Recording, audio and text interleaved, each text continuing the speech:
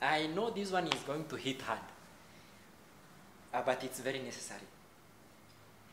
The consumption of wheat.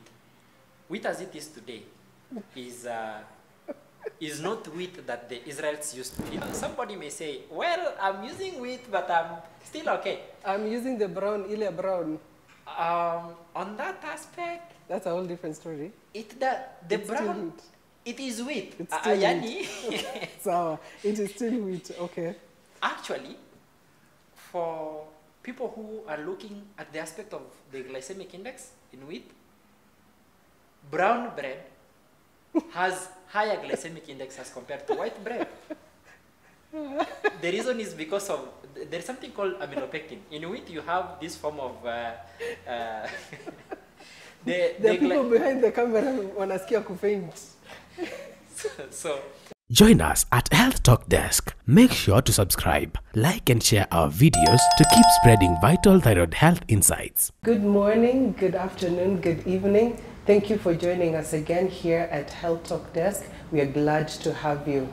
Today we are joined by uh, one plant-based um, practitioner. Today we're going to be talking about thyroid disease, but from a plant-based perspective, looking at thyroid disease from a holistic perspective. And I tell you today we have um, a guest who is really going to convince you so that you're also able to have many options and that's what we are doing here at Health Talk Desk. We're joining you from the Africa Resource Center here at AEA Plaza, 8th floor on Valley Road where um, they give you everything to do with studio. There's a beautiful ambience, good lighting. So if you have any studio needs, please uh, be sure to contact them with the details that are linked um, on the description box below. And let me remind you, if you haven't subscribed, please do so, like and share the video and also save it for future reference. So um, Dr. Erick Ongaki, I don't know if I should call you Daktari or, uh, yeah, but I know you're a doctor because you are very well versed in what you do. Um, tell us about yourself and uh, what is botanical therapy, so plant-based medicine, and uh, what inspired you to do, to get started on doing what you're doing. Yeah, um, my name is Erick Ongaki. I'm a biobotanical therapist. That is uh, doing therapy using plants. I have a background in uh, medical laboratory science and also gained uh, quite a lot of interest in using plant medicine for uh, preventive and also as well as uh, curative measures or curative purposes.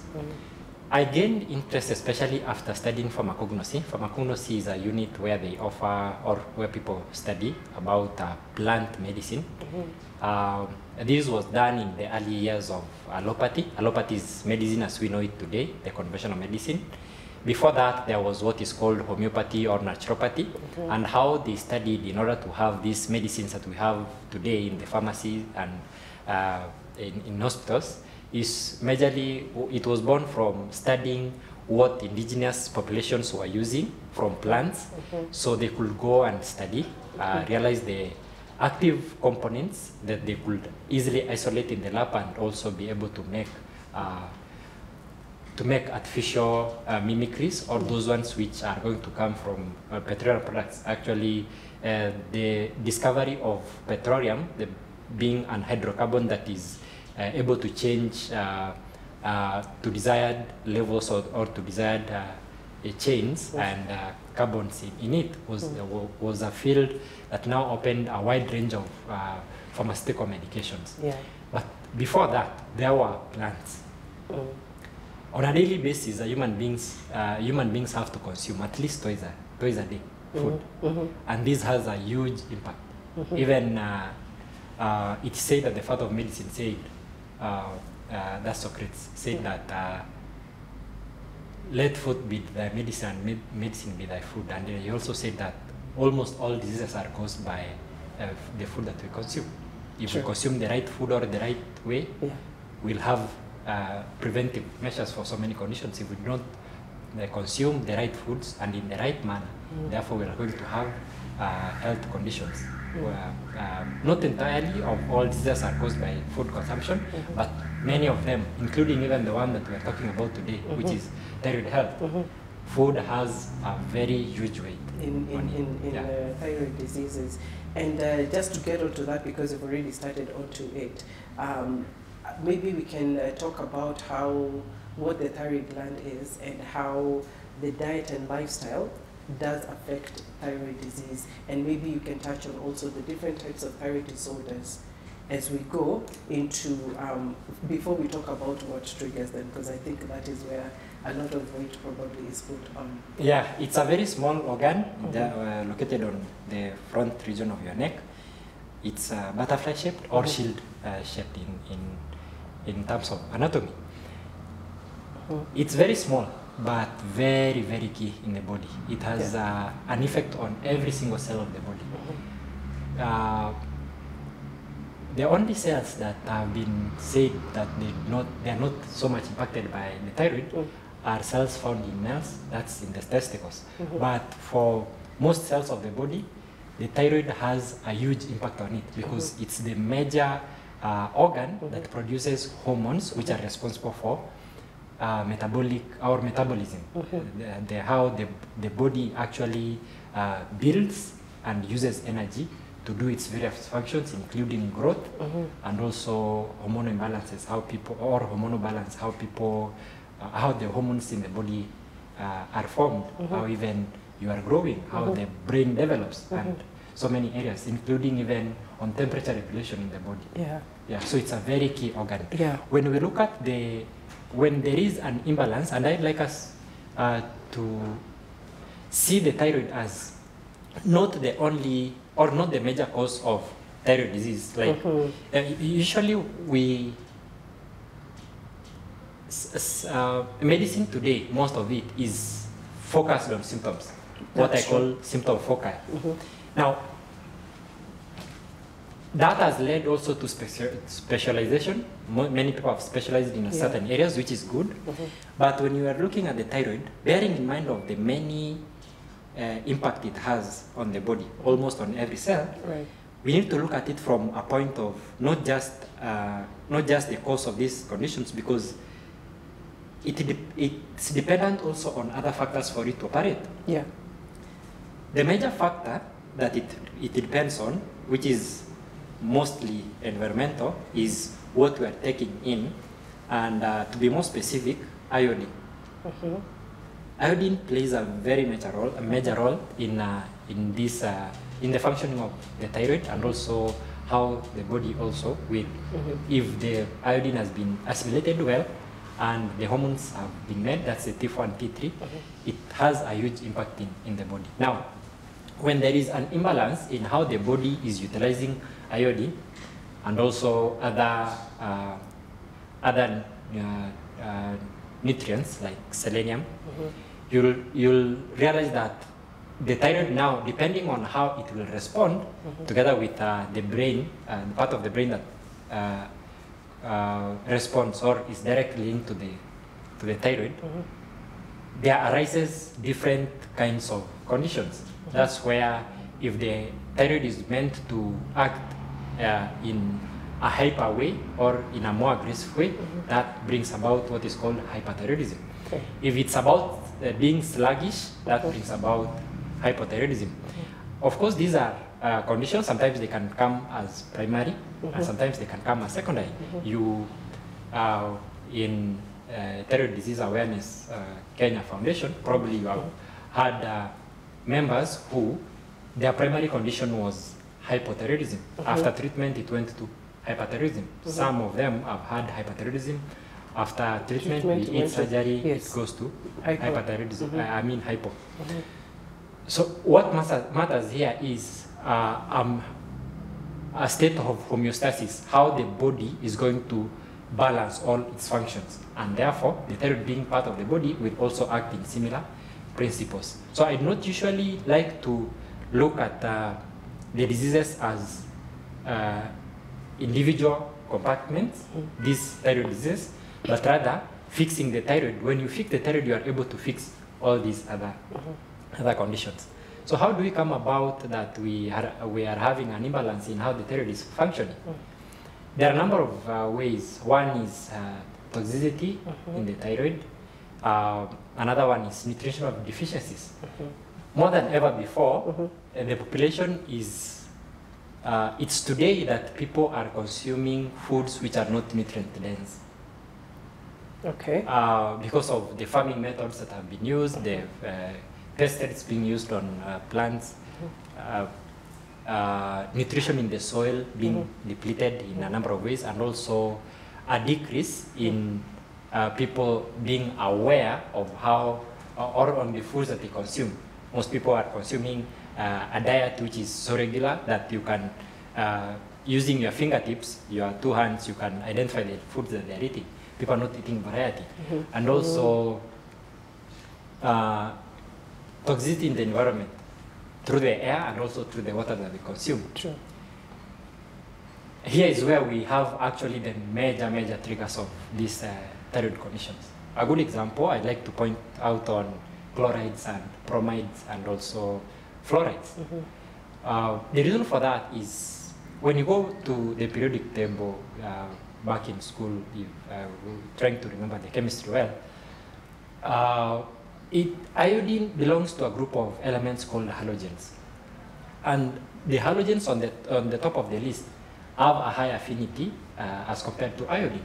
That is, they have, uh, if they are going to compete to attach to the thyroid or to any other uh, area where they need to be uh, attached as halogens, they, and you put all them together, those ones high up in the periodic table will be uh, more aggressive than those ones which are below in, in order for them to, to combine. Now, on a daily basis, we are uh, consuming things that have this uh, products in them, yet are very low in iodine. Okay. And even if we had same levels of iodine with these other elements like chlor- chlorine and fluoride, fluorides and also bromides, we they are better competitors competitors than iodine. Okay. Yeah, so that is a major cause that I'll, I I would like that uh, any person who is either uh, a champion in thyroid disease or is interested in thyroid health should look into. Yeah. So, um, w- so we are talking about uh, thyroid disease and handling it from a natural perspective and managing, ma- managing thyroid issues using um, a plant medicine. Now, you've talked about um, bromide and chloride. Yes. We find those in the water that we drink, the toothpastes that we use, and so many other products. My question is if people are not really able to avoid that, then what do we do? If it is like in the environment, kama ni ile maji wanakunywa, for example, and somebody is not able to afford to go buy bottled water, what can someone do? So uh, first, as they say, prevention is better than cure. So as much as possible, we should look towards uh, preventing, and that means trying to avoid these chemicals. But also, you realize that many people today have been exposed to these Yeah, uh, yeah. chemicals, Mhm. be it uh, from uh, burning plastics or burning fuel. Mhm. People are, more, more and more people are living in the cities, Mhm. and this toxicity you cannot easily avoid. But the first step, as I said, is prevention. How are you going to prevent uh, the use of uh, uh, chlorides? Basically, minimize. Okay. Uh, minimize the use or the intake of chlorine. Uh, how, how about fluorides? Especially for people who already have this uh, thyroid condition, look towards uh, toothpaste that are fluoride, fluoride free. They do not have fluoride in, in them. Um, the other source where we find bromide, bromides is uh, in pesticides. Um, people living in the cities, most of them are getting food from uh, farmers, and these farmers, most of them are using pesticides. If you stop using these foods, it means you stop eating. So how are you going to lower uh, the consumption of these pesticides in, in your food? One very simple way is most of these bromide-based pesticides are about 97% acidic in nature, uh, which means if we applied during preparation, if we used an alkaline, uh, it will neutralize those acids and therefore it will not be very active as we consume them into the body.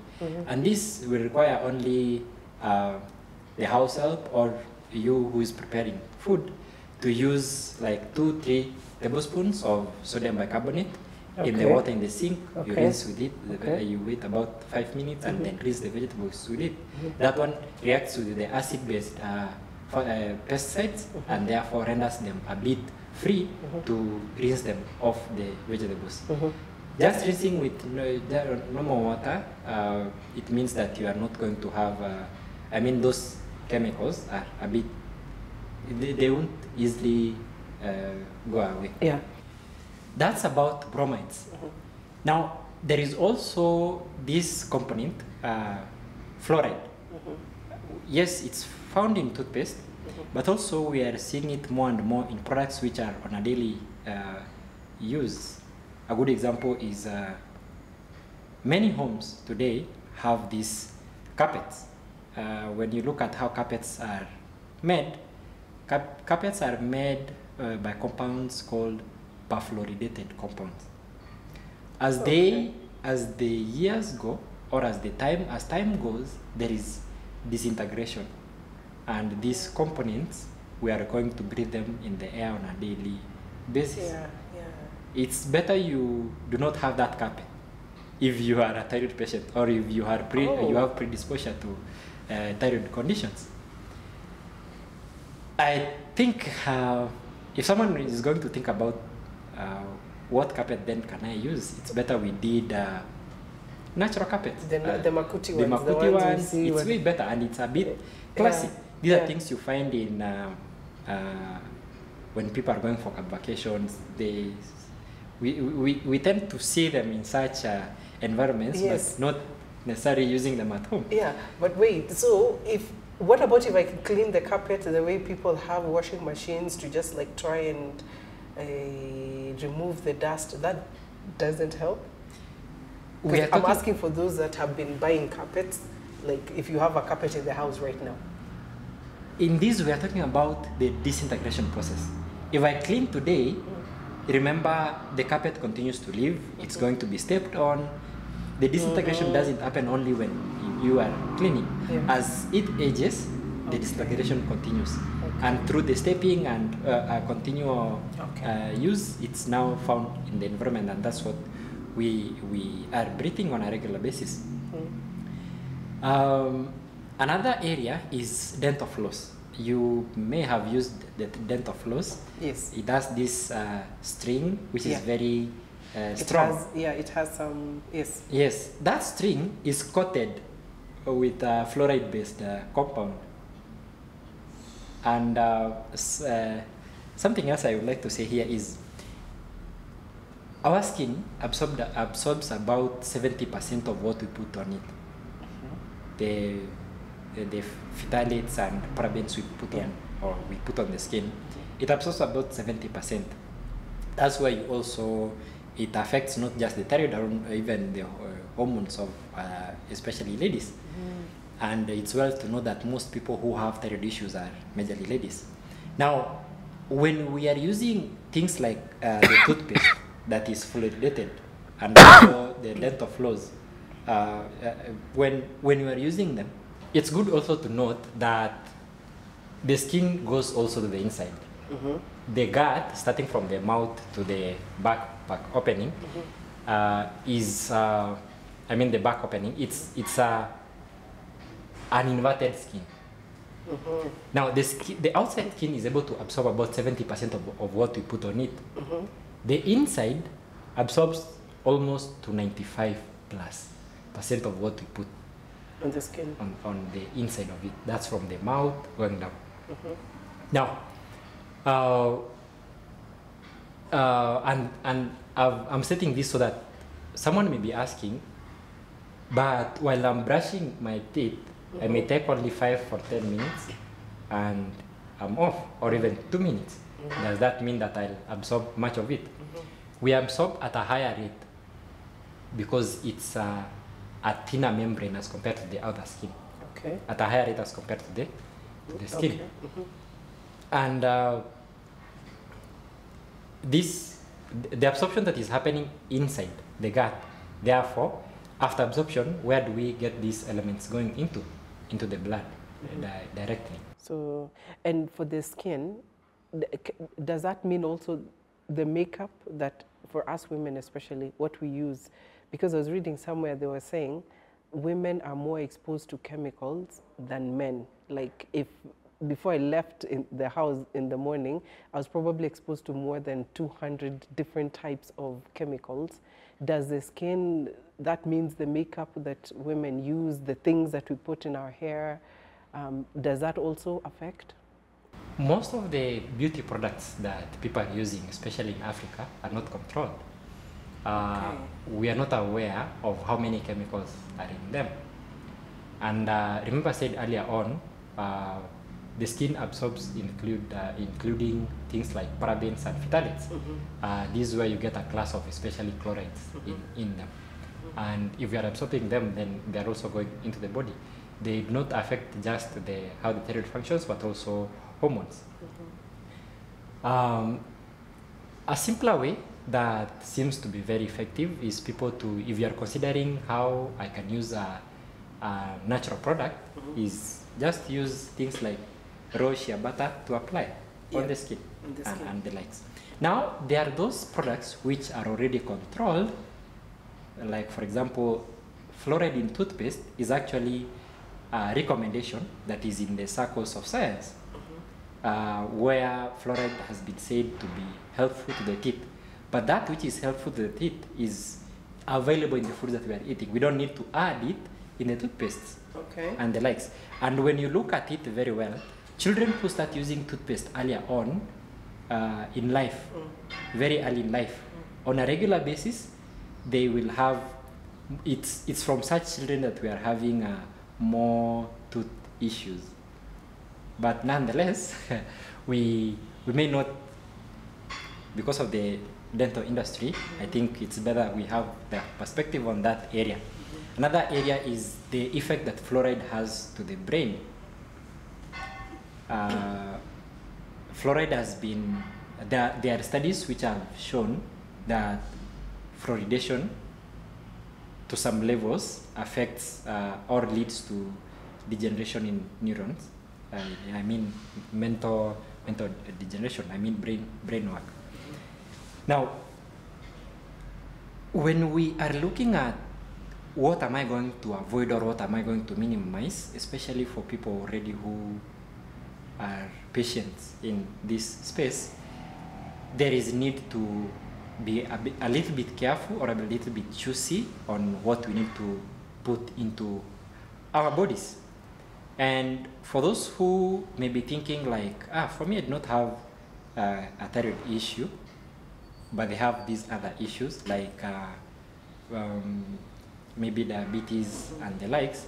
Remember earlier on we said that the thyroid is responsible heavily on every single cell of the body uh, for purposes of metabolism.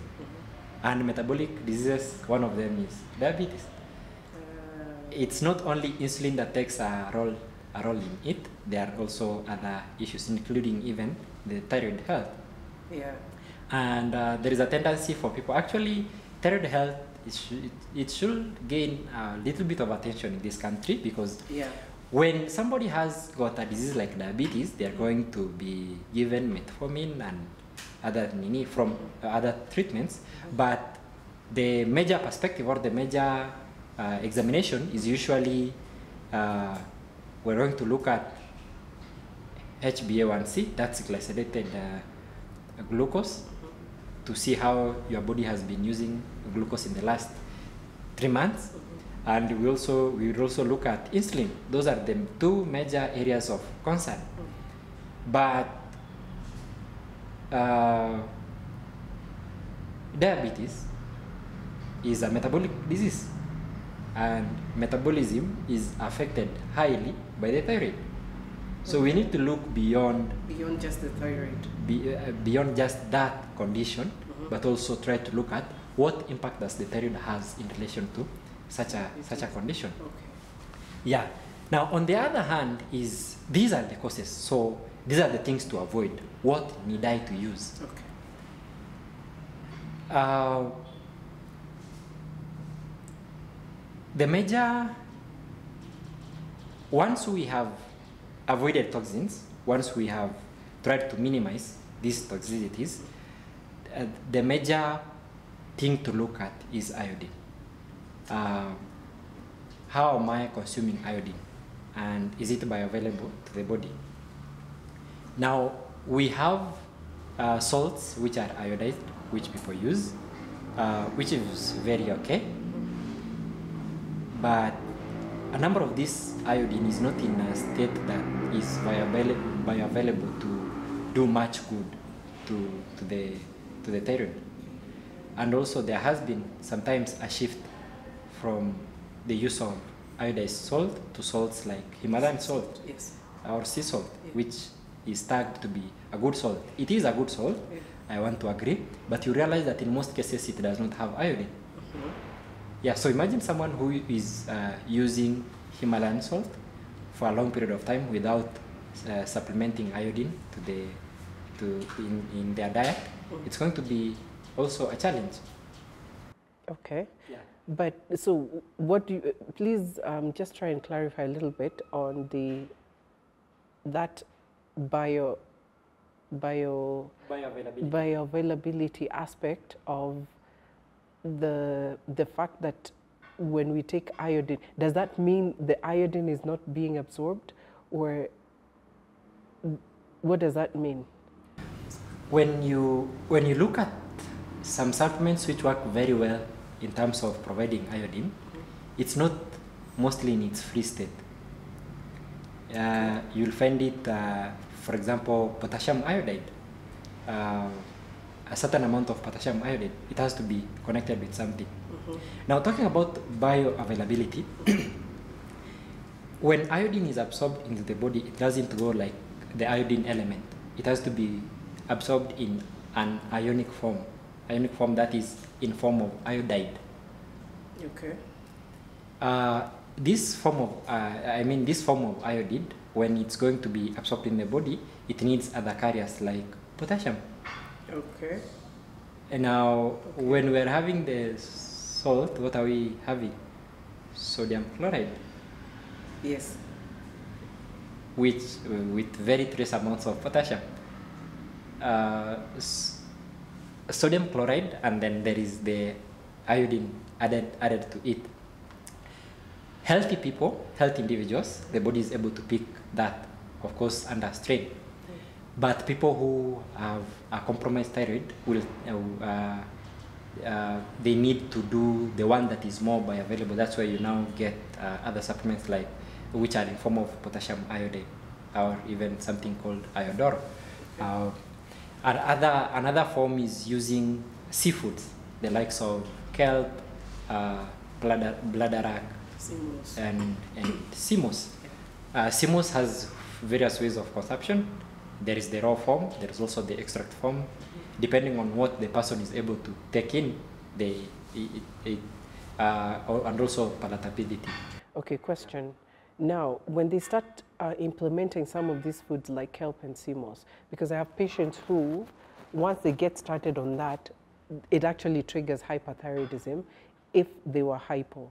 My question is because we were talking with another doctor on a, a different segment, and she said iodine, we in our Kenya or in our geographical area, iodine is very available in our soils. So much so that you can find iodine in not just salt, in vegetables, in some types of fruits. I came to realize. So, do you really think that the issue here is iodine? I mean, it is, but do you really think that that is what is causing a lot of uh, the thyroid issues that we have now, especially? We, I want to agree that there is uh, iodine available in a number of foods. But remember earlier on I said how iodine is going to compete with the other halogens Okay. for the for the thyroid. Okay. Now, about patients taking in some of these foods, especially the one that the ones that are very rich in iodine, uh, you'll realize that someone is taking iodine. They haven't worked with the doctor in order to realize that I need to adjust the medication that I'm doing because you are going to consume iodine and you will maintain the same number of mgs of be it levothyroxine of what you are of what you are using or even for those who have uh, hypothyroidism uh, uh, the the amount or the dosages needs to be uh, changed. That's why it's necessary to work with um, your therapist yeah. or, or, or, or the doctor. Yeah. so there are areas where it needs guidance to, to look into it. Uh, there are also foods which necessary do not necessarily need a, a, a guidance per se, like uh, uh, the consumption of these fruits. If we are consuming these fruits which are uh, rich in iodine, if we are consuming these plants which are also uh, good in iodine, if they have not high levels as compared to sea moss, it doesn't cause any issue.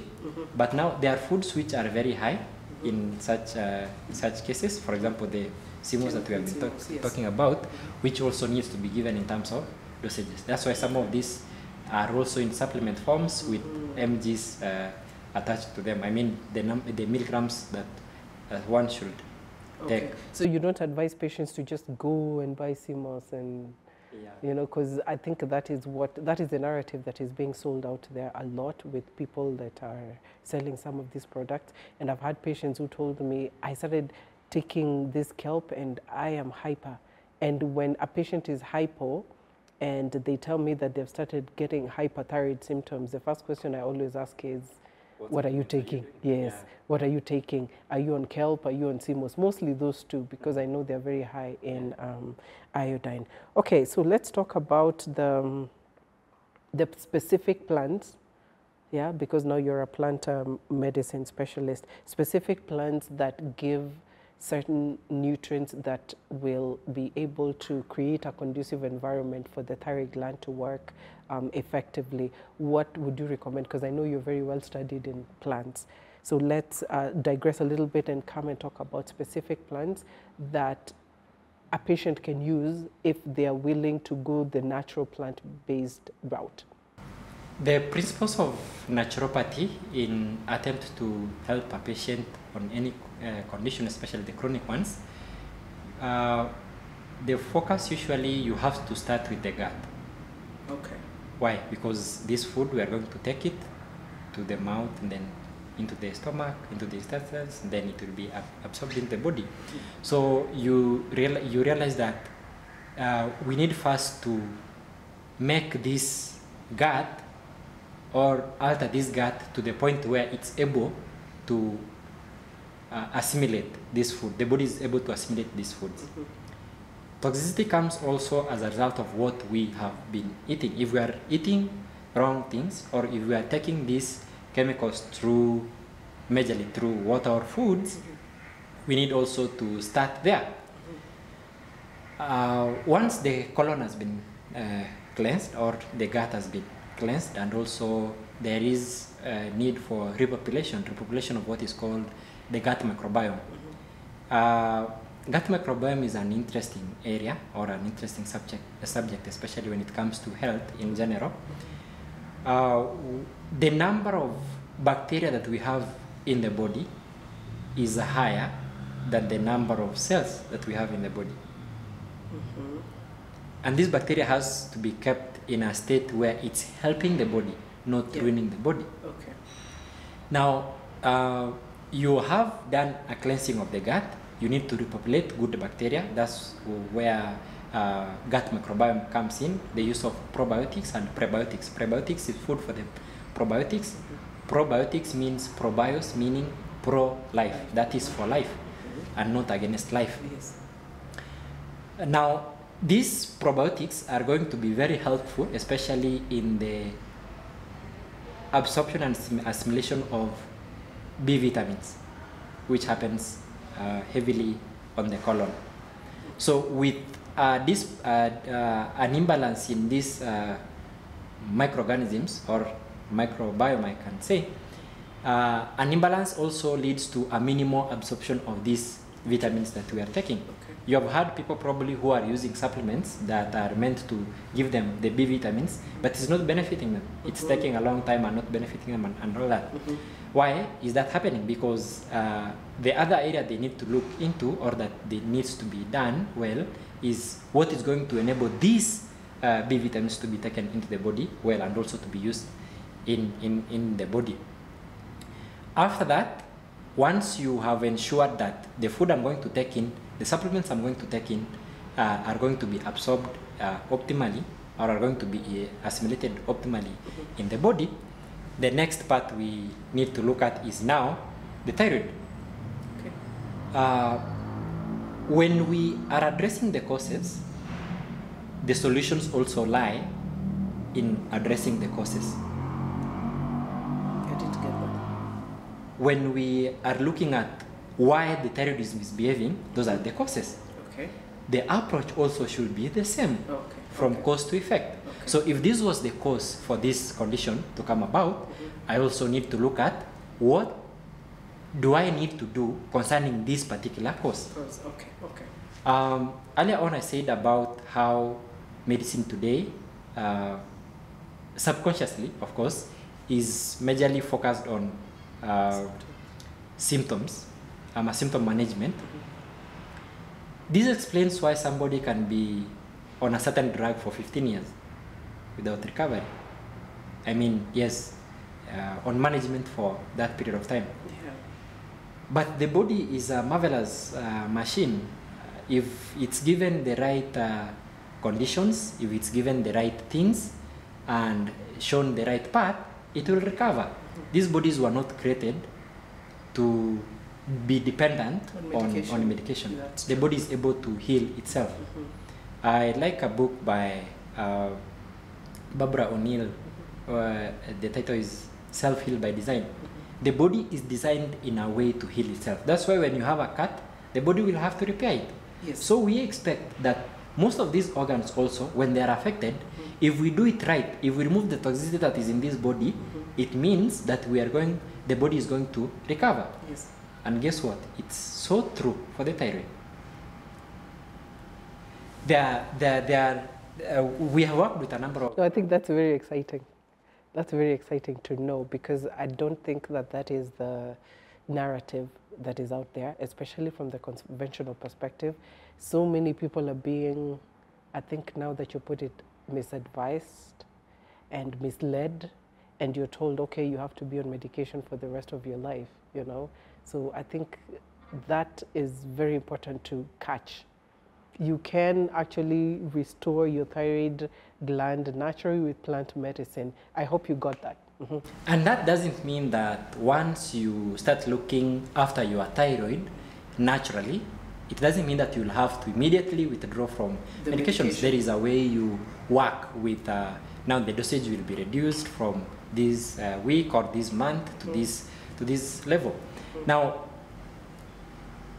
we were back on self-heal by design. Actually, we have worked with patients who have been on uh, some of these medications for quite a long time. And during the process of working with them, uh, they have been able to be let free of the medications that they have been using.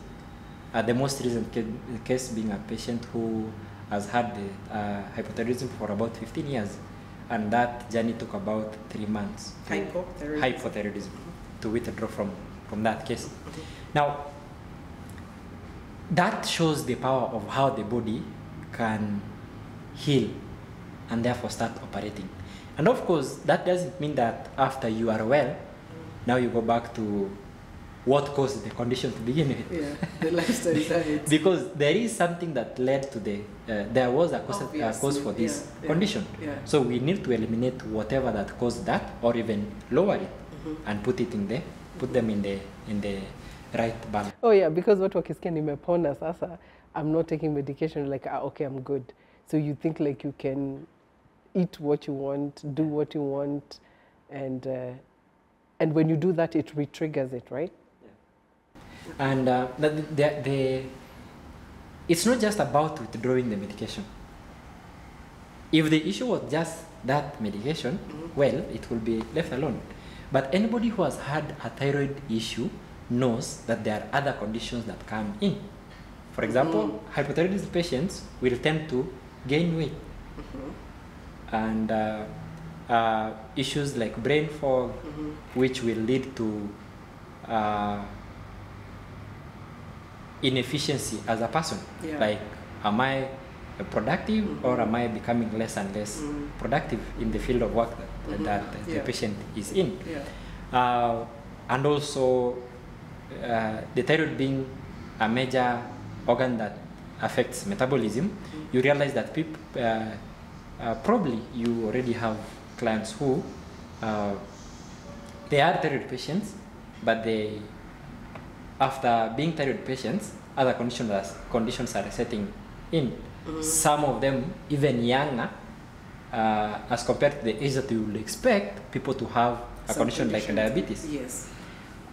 So it, the target here is not just about withdrawing the meds, but it's, uh, it's rather looking at the body to be able to be set free from the possible conditions that are going to be attached with it in the long term, or that are going to come along Yeah. with this uh, condition Yeah. in the long term. Okay. Yeah. So um, now that you just mentioned about how you're withdrawing medication, it doesn't mean that you just go like cold turkey on it and stop taking medication. There's a way you you you're weaned off by the doctor. So you're talking about um, integrative, maybe the integrative approach of to health. So I want us to talk about the natural treatment versus the conventional. Maybe um, you can comment about um, can they be used together?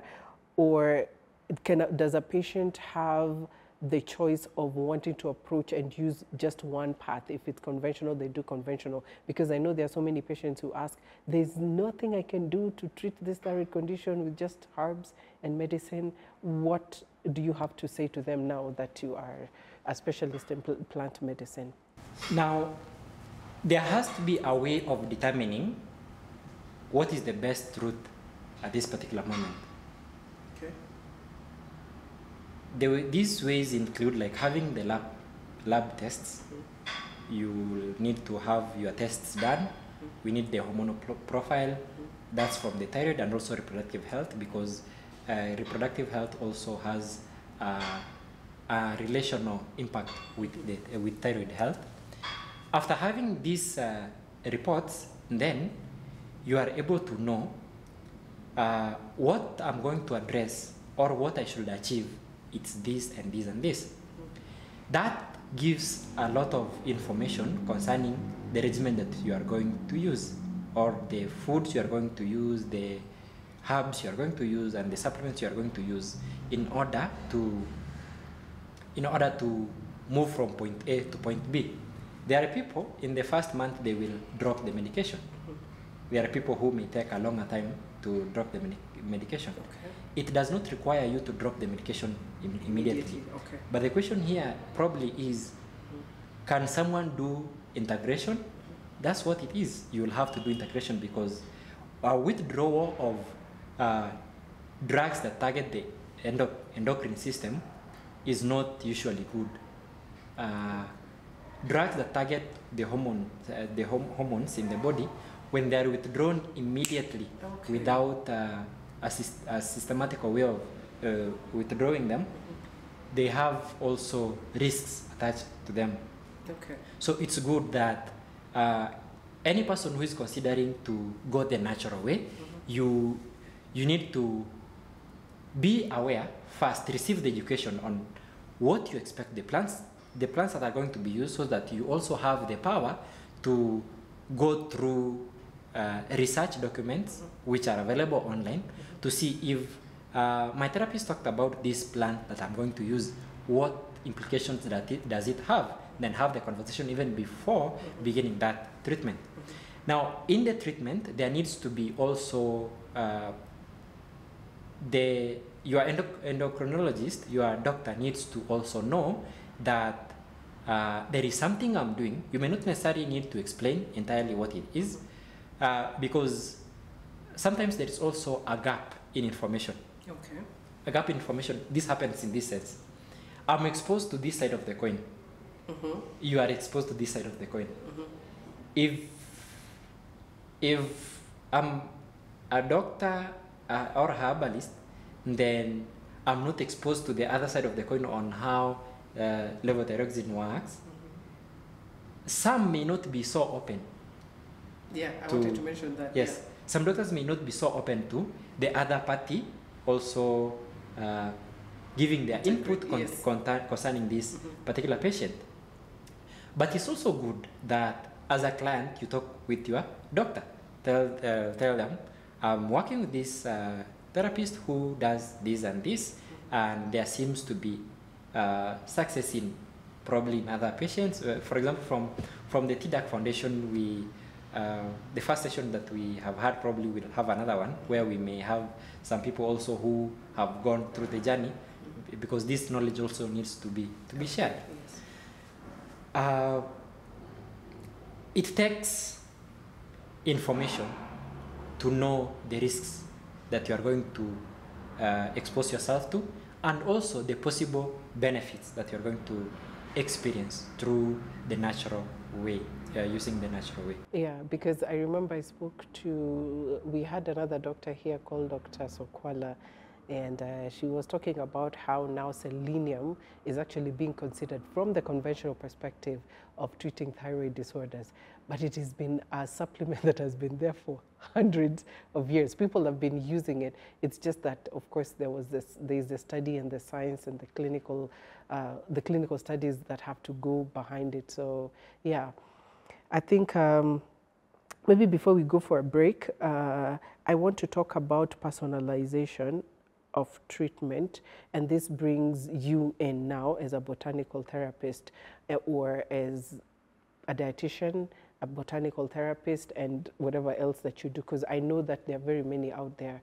But to be honest with you, I don't think that there are very many people in your uh, caliber who are well versed the way you are in terms of studying plant medicine and really wanting to integrate it in medicine the way it, you are doing it and the way I know there are many others out there. We have functional medical practitioners now that are coming out. So when you hear about plant-based medicine, unafikiria ni ile, you know how those doctors give you some green stuff? Kwa nini? Kwa, kwa, kwa, chupa ya maji? Alafu anakwambia hii ukikunywa hii shida zako zote zinaisha you know? So sometimes you find that does not bring a lot of of course faith in people because there is no science uh, research about it. And i realized in kenya people are very scientific. It's very hard to convince someone especially that knows more about conventional medicine that actually there's a way that plant-based medicine can work. So um, when you talk about personalization of treatment how important is it you know to tailor a plant-based therapy yeah for the treatment of thyroid disorders We do personalization because of the following reasons. Someone may have uh, hyperthyroidism but has not had uh, thyroidectomy. Someone may be having hypothyroidism but has no issues with weight. Someone may have uh, hypothyroidism together with issues like uh, gastritis and, and the rest. And also people have some food allergies. So it's very key that when looking into how the client is going to start the program, we do a history check or patient history check. Uh, you have this condition, yes. You have been on this medication. Uh, what else are you uh, having? What else is your body telling us? Uh, the body can be asymptomatic, so we'll, because of being in the field, there are areas we have identified that are likely to be happening. There is something's likely to be happening, yet they have not shown symptoms. We'll send you for the tests. For example, we'll send for uh, uh, full hemogram or blood work to look at what is your uh, erythro, erythro, erythroid sedimentation rate being like? That's the ESR. Uh, what are the numbers of lymphocytes in your body? Uh, other uh, hormonal tests like uh, what are the values of uh, T4 as compared to T3 and TSH? Oh, and what will that tell me as, as Erick? Uh, uh, is it tending to more towards uh, autoimmunity and also bringing in other autoimmune conditions? That is the need uh, for personalization. A program that I'll give you may be a different program that I'll give another another client. Yes. Now, the importance of personalization here is first you are able to follow the client at an, in- an individual level on a regular basis Yes. to be able to help them uh, even uh, being in it like i'm taking this treatment but again my personalized plan is a little bit different as someone else could be Yeah. that one puts them on toes where they need to be conscious of what they are doing Yeah. on uh, making uh, choices in a conscious manner Yeah. if they are going to the market or if they are going to if the, there are people if he's uh, he or she is a person who on a weekly basis or on every weekend will go to a party or somewhere the choices that are going they are going to make uh, for me i may not choose this because uh, i understand the levels of a certain chemical in my body are at this Yes. at, at this at this level Another aspect of uh, personalization, it helps the client to know that they have control also to their health. That's a major component in health that needs to be advocated for, Yeah. that I believe so much. Yeah. So, to the sense that uh, people should be educated as patients, there needs to be an aware in awareness of even the regimens that they are taking, of the possible side effects of the drugs that they are consuming, of how long they need to consume them. Yeah. Uh, it's often, and this I get quite a lot, people ask, people usually raise their antennae towards plant medicine, herbs, uh, nutrition Yeah. supplements, Yeah. as compared to uh, pharmaceutical medi- medicine. Yeah, that's, For that's the example, weirdest Carbimazole, thing. Yes. PTU. Yeah. So, yet when they were going to take the Carbimazole, They a number of them did not raise that antennae of studying. It's Yeah, to ask yourself Yes. what are the effects of the carbimazole long term. Yeah. what are the long-term effects of Yes. this thing? What are the short-term effects? What am I willing to lose, or what am I willing to sometimes I may call it sacrifice, or what are the possible uh, things that I may need to forego? For example, I've, I've had clients who they are on carbimazole but want to have children. Actually, some of them have lost even their uh, pregnancies Yes, yes. before Very it's common, full time. Yeah, yeah. So, awareness of what you are going to take is very, very necessary, both on the benefits and the, the side effects. And it's always good. I do understand and believe that any learned person, any learned therapist, any learned doctor will feel good that as a patient or as a client, you are asking questions in regard to the type of work that they are going to do upon you Yes. uh, uh, do not be a kind of a person who is like, I'll get this instruction and I will do it. Just that. it's, uh, it's not the perfect way of taking care of your health because that is your body.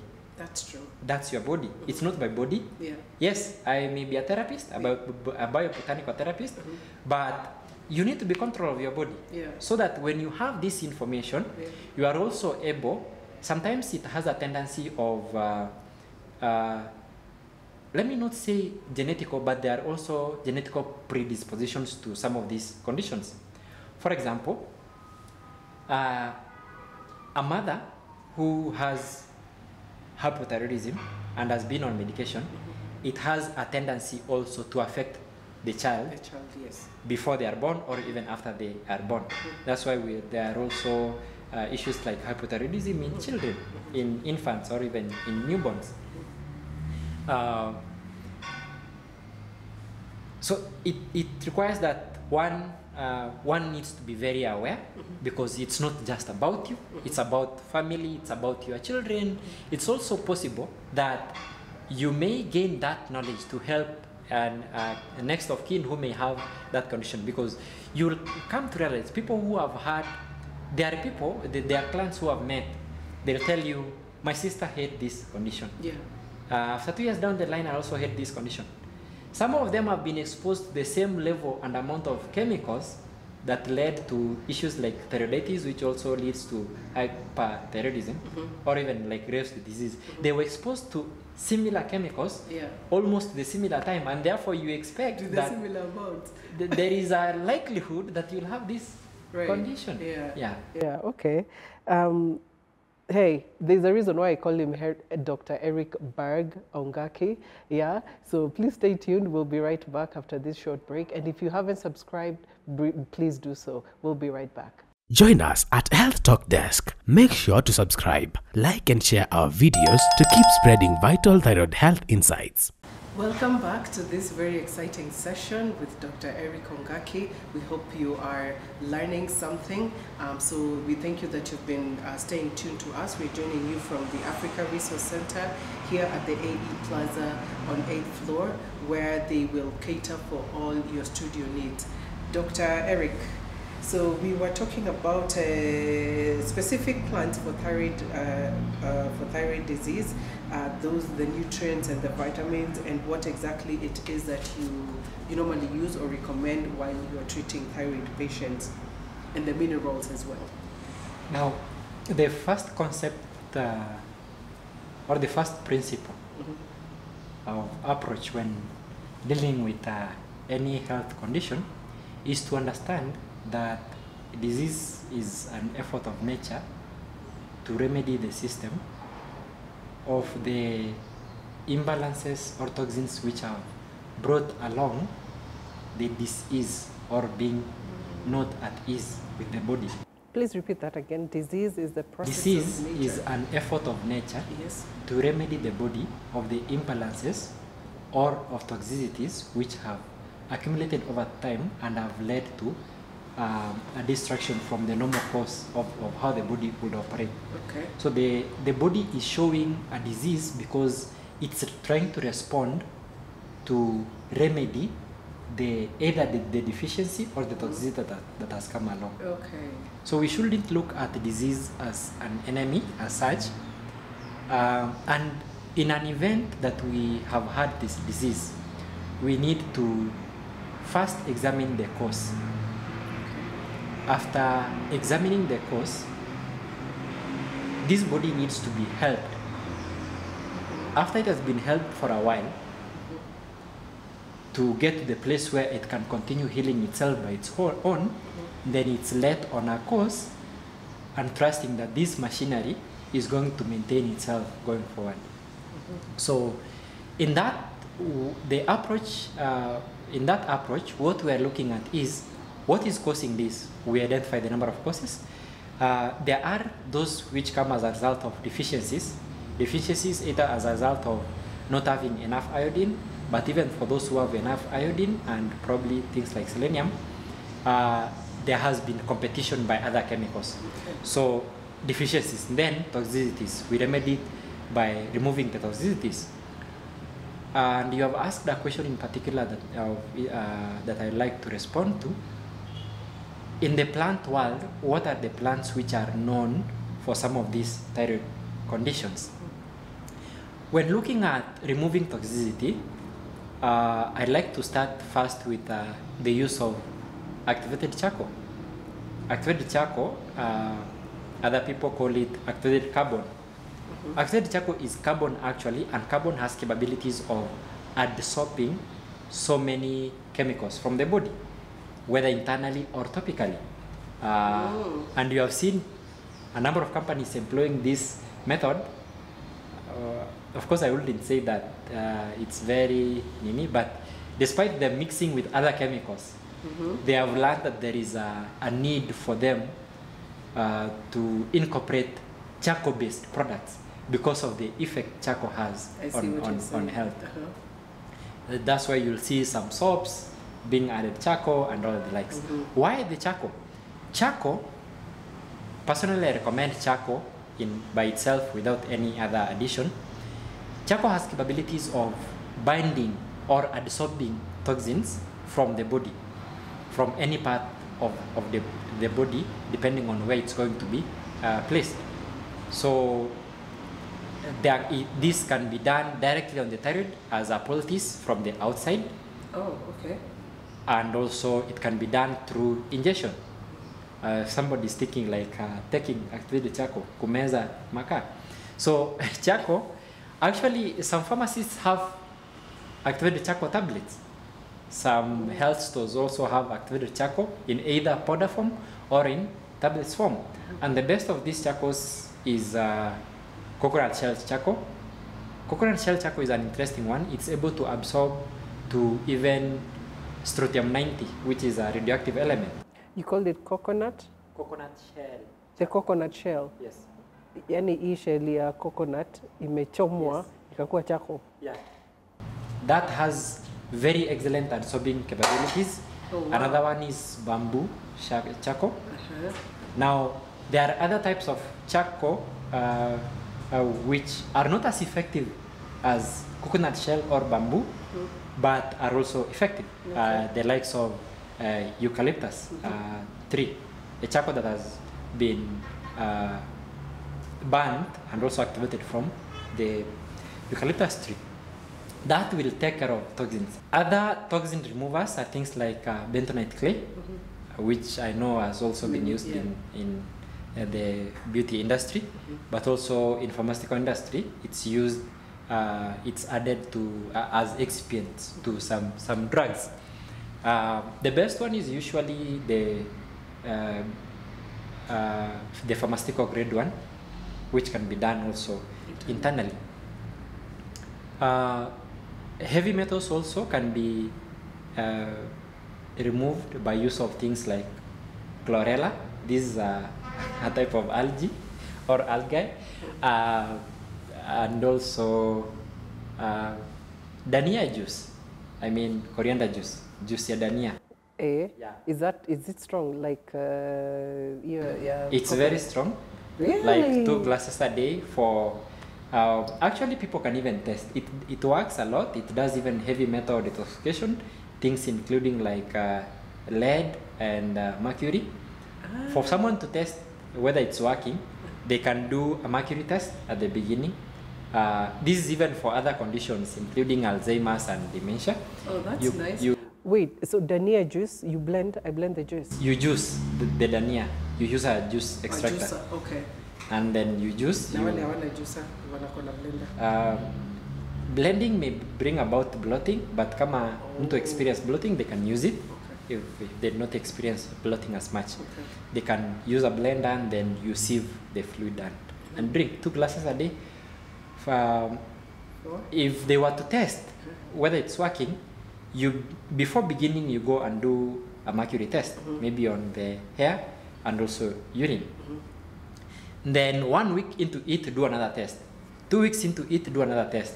And then after 45 days, ta- days do another uh, do another test. These compounds that I've mentioned, they are able to chelate those heavy metals. And the good thing actually with uh, things like chlorella or coriander, it does not work like the. There is something. There is a chelator that's also used in a hospital setting called EDTA. It has to be uh, administered by an expert, but that binds almost to every nutrient. The good thing with these other ones, they are able to bind with these chemicals and these heavy metals without necessarily depleting the body of the minerals that are beneficial to it. Because uh, things like uh, coriander, uh, that's dania, in and of itself already has minerals that you are going to consume. Yes. Yeah. So from from that aspect, once you have dealt with detoxification of that area, remember I also said uh, uh, the gut is very key. So I mentioned about gut microbiome and also cleansing the gut. The other thing that is very key is the liver. The liver is responsible for the synthesis of cholesterol, and cholesterol is used for the production of hormones. Uh, it's very very key Okay. Now, the liver has to be optimized. It's going to be optimized by uh, use of.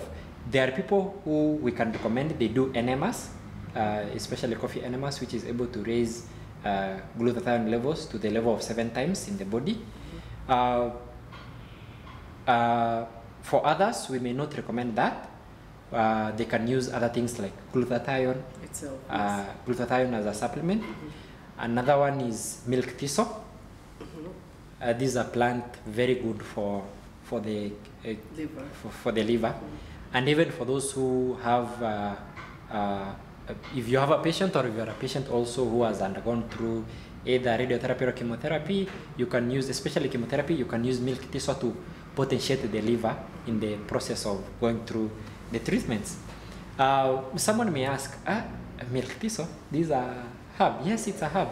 And most herbs are vegetables. There are parts of this country and uh, somewhere else, especially in Europe, where people take this as vegetables. I remember a time, uh, there is a time we visited um, Luo Nyanza, and our host actually prepared the milk thistle as a vegetable for us. Really? yes. Now we also look at the kidneys. It's very very key because the kidney, for example, uh, the kidney has the adrenals, uh, and also it's responsible for production of a hormone called erythroid or erythropoietin. Uh, erythropoietin, this is an erythroid hormone. It's used, uh, it's transported to the bones to make blood in the bone marrow. And remember, people who have thyroid issues, whether on medication or not, in the long term they also have association with uh, bone health, where there is a decline in bone health. Basically, because uh, there is a hormone that is produced by the thyroid called, uh, uh, actually parathyroid, called calcitonin. Calcitonin is responsible for regulation of calcium and phosphate ions in the in the body, which are also key elements in the formation formation of bones. The kidney is going to be optimized by the use of uh, what we can term as diuretics, but they are not diuretics also which will uh, cause demineralization. These diuretics are things like dandelion. In coast they call it muchunga. Uh, I think in Kikuyu they call it otonga, ama yes, something like that. In Kikamba, I think we call it Mudunga or Otunga or something. Uh, yes, that name. Yeah. Uh, dandelion is a good one, and the people in the coast are a bit blessed. When it rains, uh, they eat a lot of muchunga, the dandelion, Oh, is that? as vegetables, oh, really? as food. That cleanses the kidney very much, and also it does other functions like uh, it's called. It's also referred to as a, a survival, a survival and nutritional plant where you, if you want to pack a lot of nutrition into the body, you can use that because Mm. its structure as it grows, it puts uh, the roots go very deep, and therefore the profile, uh, the length of how many nutrients it's going to absorb, it's quite a, a good range. So it's going to absorb, uh, to take in so many nutrients, in, uh, nutrients into its system. So when you are doing it, you are going to mineralize the body with a lot of minerals. It is a very good diuretic. Uh, that also we give to people who have had issues like kidney where they are, they are having edema. Some of them may be on Lasix and these other diuretics, but are not very helpful at a faster rate. So that is, is also helpful.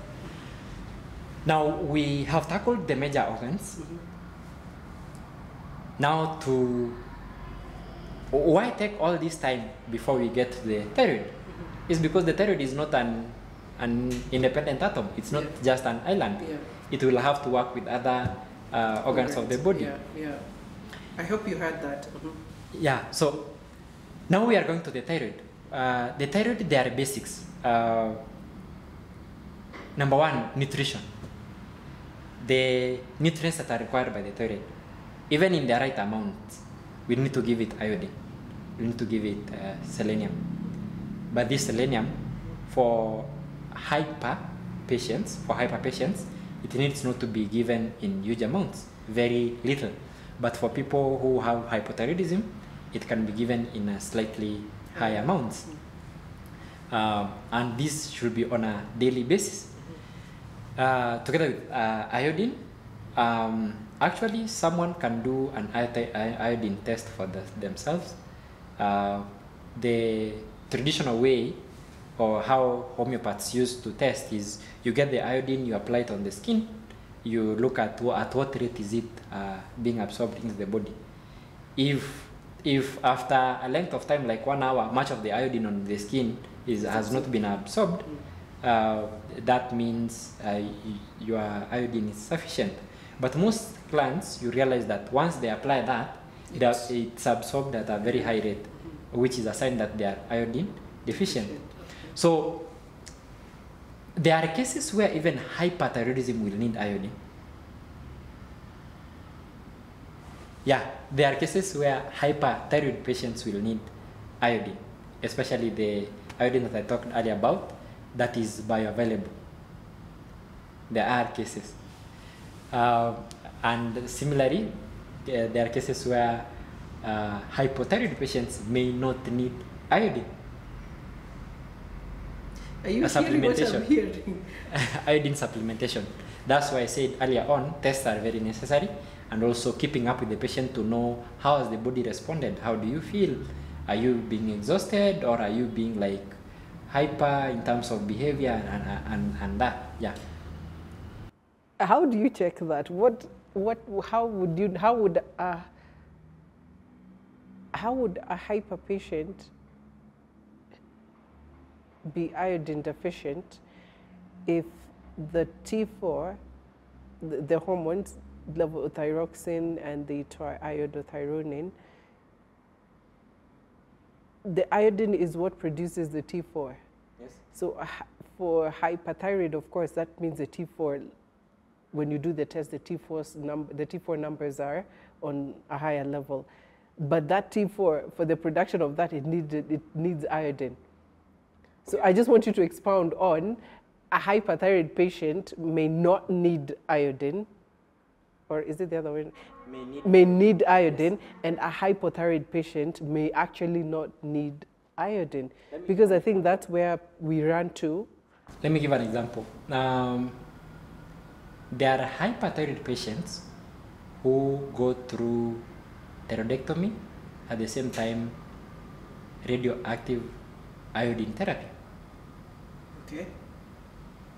You know the easiest way to uh, minimize the symptoms that come as a result of radioactive iodine therapy is the use of natural iodine. Okay. Okay. So that's a classic case of where a hyperthyroid patient may need iodine. Okay, but once the patient has gone through the um, the radioactivity, they've already they're already hypo. It's like automatically they become hypo. That's another area. Uh, they have they have already gone hyper, right? Now, there is a uh, there is a case where these are a hyperthyroid patient who is uh, generally it's considered they should that they shouldn't have uh, iodine supplementation. But why is it that the uh, iodine usually why is it that iodine levels in this person are quite high in most cases there is the concept explained about the iodine being able to bind without the body uh, disintegrating it Oh, so it's being abs- it's there, Yes. but it's not being absorbed. it's not it's not used and also uh, get gotten rid of like the body has a way of balancing things. If it's in excess it will remove it. If it's not in excess it will not remove it. Now it's a concept ex- explained especially when uh, uh, some chemicals bind without necessarily letting go of those areas of uh, the sites of binding. The sites of bind, those pockets Yes. were talking about. Yes, it seems controversial, but one way to help the thyroid even remove, uh, I mean, get rid of areas where some of these chemicals are not able to be gotten rid of is by giving something that is more bioavailable. Iodine in, in the environment is in various states, not just a single state. So in most cases, you realize that the person has been ex- exposed to uh, high amounts of a a specific type of iodine. For example, uh, the iodide state, for we have like potassium iodide, io, potassium iodide, and there are other forms of iodide that can be uh, uh, that, that can find their way into the body. Now, the iodine, the the iodide ions, they are available in the blood, but once they get to the thyroid, they have to be converted from the iodide into iodine. Some forms of these iodides, because of what they are attached to, are not able to be converted in that process, and sometimes they bind together with those processes. So, a way of now helping the thyroid to get rid of those is by also uh, providing natural. Uh, Ways of detoxing. I mean, pro- after detoxing, now providing the natural ways of getting iodine into the into the thyroid. Yeah, And hypo. and also hypo. With the same thing. Yeah, but that's an area where one has to be very careful because uh, it's possible to, after consuming it uh, in, in amounts which are not required, it goes overboard. Now, uh, something else I'd like to talk about is what is called ashwagandha. Ashwagandha is very, very key, especially for patients with hypothyroidism. It's not very good for patients with hyperthyroidism. Uh, for hyperthyroidism, we have actually there is a study uh, that was done on amla. There is a fruit called amla. This amla fruit has similar effects as PTU, that's propylthiouracil. Oh. And they found that the regular quantities of consumption sometimes are even better, they have better effects as compared to PTU. And guess what this amla is going to give you? You are going to, you are not going to worry so much about uh, not being able to conceive or having issues with uh, uh, the child after cons- consumption.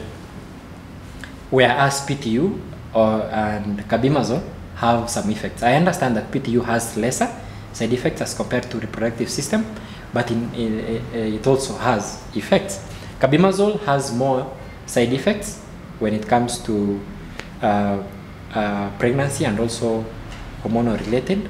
That's why uh, an endocrinologist will prescribe PTU instead of carbimazole if someone is is younger Yeah. and wants probably to be pregnant or is already uh, pregnant.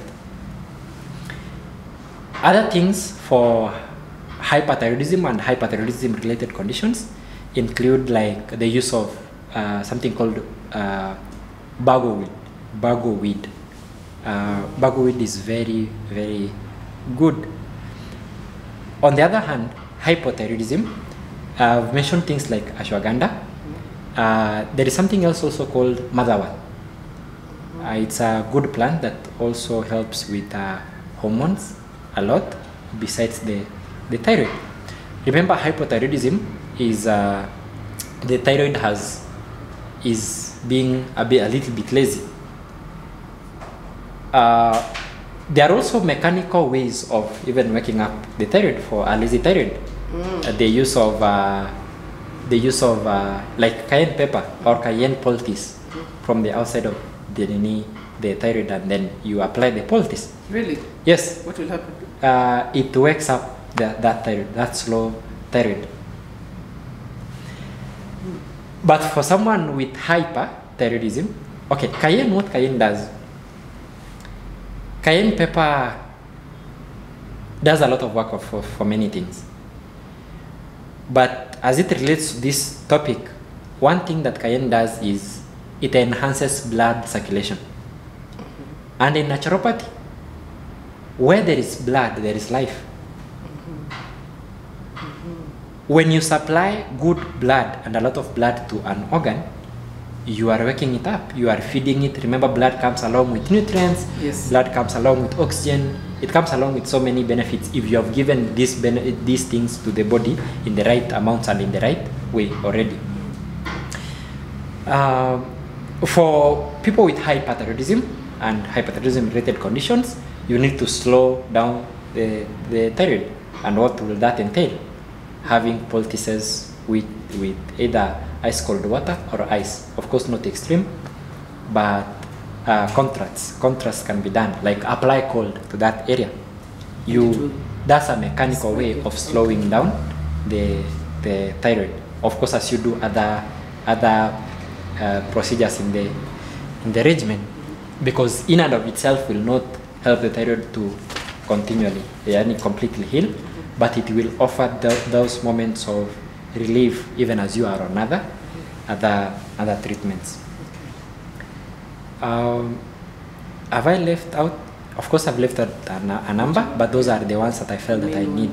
I, I need to talk about. Okay, so let's talk about this extract idea and the full, like if now you talked about dandelion, maybe if there's a champion watching from Mombasa, eh, akiona sasa atakimbilia hiyo ama aende achukue, you juice it and you start taking.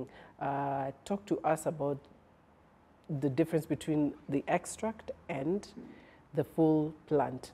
Now, in the plant world, there are a number of ways how plants can be taken. One, they can be taken fresh, immediate, raw, or cooked. Okay. Like uh, doing your salad, that's raw. Uh, but cooking, like cooking bogas, people cook managu, people cook, uh, sometimes people cook even cabbages, which is also a good thing for, for hypothy- uh, hypothyroidism Yes, yes. because of the goitrogenic Yeah. uh, aspect. Now, uh, when st- still on nutrition, we don't find nutrition only in the mbogas. I mean the, the- what we consider normally as food. There is also nutrition in what is considered as herbs or weeds.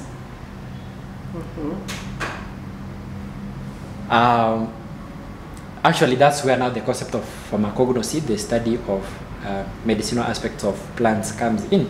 Oh, it's a study of weeds. The study of weeds, actually, the study Oh, of plants, okay. the study of plants from trees to To weeds. weeds. Okay. And most of the items that I've mentioned already are those ones, not not trees, but they're like shrubs, as some of them are weeds. Yeah.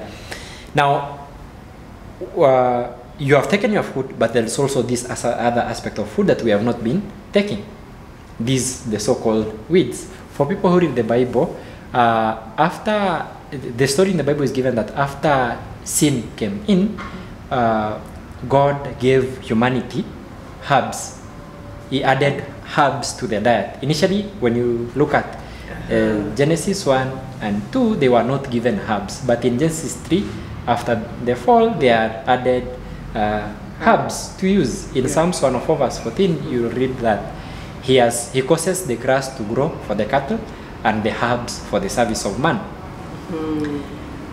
And it's interesting that in most religions, uh, they have, in most religions, have a connection to the plant world in on how they are going to use these plants for, for, for health. Yeah, for health. When you look at uh, Indians, there is Ayurveda. Yeah. Uh, yeah. when you look at uh, Chinese, which are known to be practitioners of Eastern religion, they also actually most of these studies have been done in countries where uh, plant medicine was at the forefront to the extent where it can be administered uh, on the same level as uh, allopathy or as uh, pharma- uh, pharmaceutical medicine. And that's why you can hear we. It's in China where we have had uh, traditional Chinese medicine studied studies coming up again and again Yeah. with the benefits of plants. So I'm, I'm here talking about plants being uh, very key yeah. to survival and also even for humanity to thrive when it comes to health. Some of these you don't need to wait until you are a patient suffering from a certain condition in order for you to use them. So, we don't wait until uh, we don't wait until we have a cold that we are going to use lemon we don't need to wait until we are deficient in vitamin C, then we take lemon because lemon is good in vitamin C or even oranges. We need to uh, we incorporate these things in, in diet. And even for a listener or somebody who is watching who is not you are not a, a thyroid patient, but you have had this conversation, probably you'll go and do more research on the same. There is need to start incorporating these things in diet earlier on in life. Like sele- selenium is a type of nuts. Why not use it? Uh, these seafoods, like uh, the ones that we mentioned in particular, the likes of kelp, if you are able to get them, or some of the people who use uh, uh, supplements, it's good to incorporate them. Remember, the thyroid affects every cell Yeah. in the body. Yeah.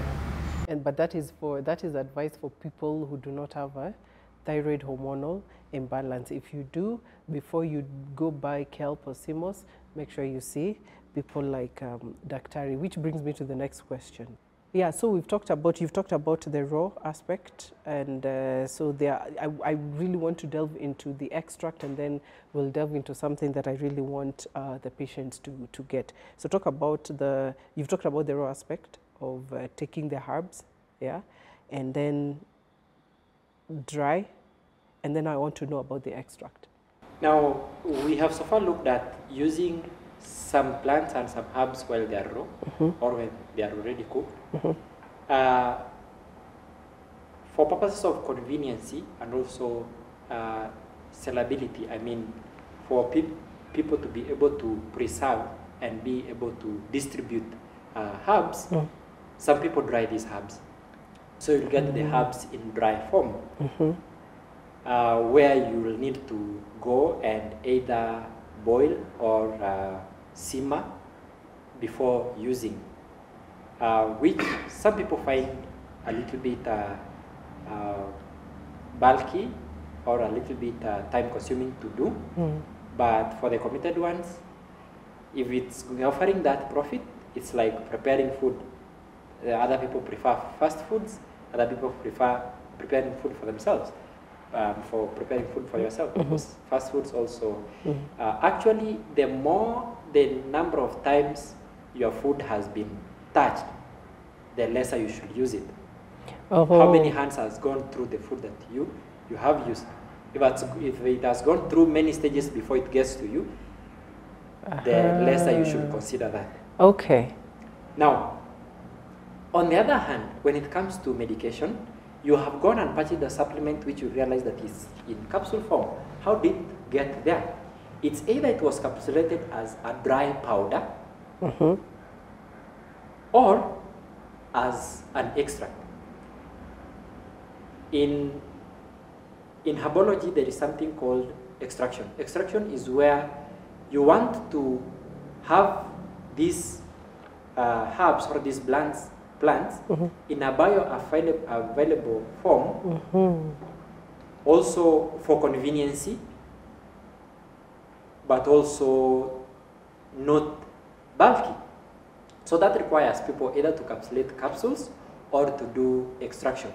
Extractions, there are various forms. First, there is extraction through the use of alcohol, majorly known as alcohol tinctures. And the other form of tinctures is what is called uh, glycerin tinctures. People use glycerin to get this uh, uh, to get these plant extracts. Glycerin has a, a shorter shelf life of about two years. Alcohol extracts have a longer shelf life that goes up to five, six years. Now, another form of extract is where biotech companies uh, use machines to extract these uh, uh, plants into an extract, but it, they make it in a powder form. Uh, this concept is, for example, uh, as in, in the learning phase, it's sometimes practiced in the univers- in university. Uh, I can quote one, for example, Kenyatta University have this machine where they teach pharmacists on the process of lyophilization.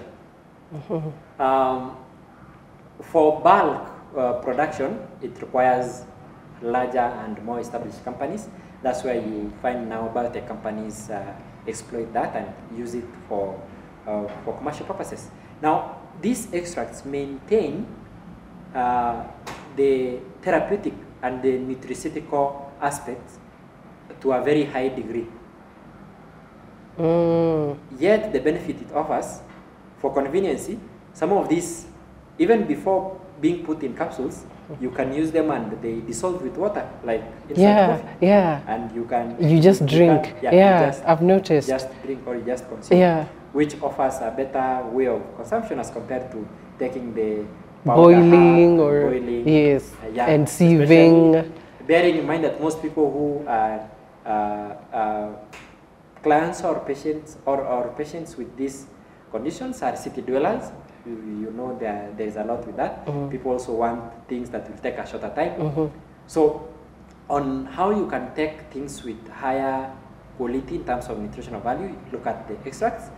Uh, that's why you'll find that there you'll have uh, lesser capsules, which like a single capsule in average sometimes it contains around half a gram. Mhm. Yeah. Now, I have worked with both, and I've come to realize that when I've, I'm working with the extracts before they are capsulated, Mhm. I'm able to uh, work easily with higher dosages. Okay. Those ones that are going to bring the the effect of healing faster Mhm. as compared to taking a longer period of time. Yeah. Because initially you could work with a client to one year down the line, and sometimes someone could ask like, "Hi, uh, Kwani Fanyi, Yeah. how long are we going to do this again? Yeah, yeah. and sometimes people, when also when you look at the prices of supplements, Mm. someone may ask like, I think it's better to for me to Take to, the to take the, I mean to take the, to continue being on medication forever because it's a bit cheaper and it's just uh, a single tablet or Yeah, even half of yeah. it f- for a long time rather than doing the bulk work, uh, work and the expenses. Now, when um, when we're looking at extracts in powder form before capsulation, you realize that you will have the effect faster. Okay, so it cuts short. It Short cuts short the- the time of Yeah. uh, treatment, and if someone is going to maintain, they may maintain on a few few things to keep the body healthy. As some as some people would like to take supplements for healthy purposes regularly. Now, eh, the bioavailability of this extract is quite high, and uh, that's another point that is very positive about it. Yeah.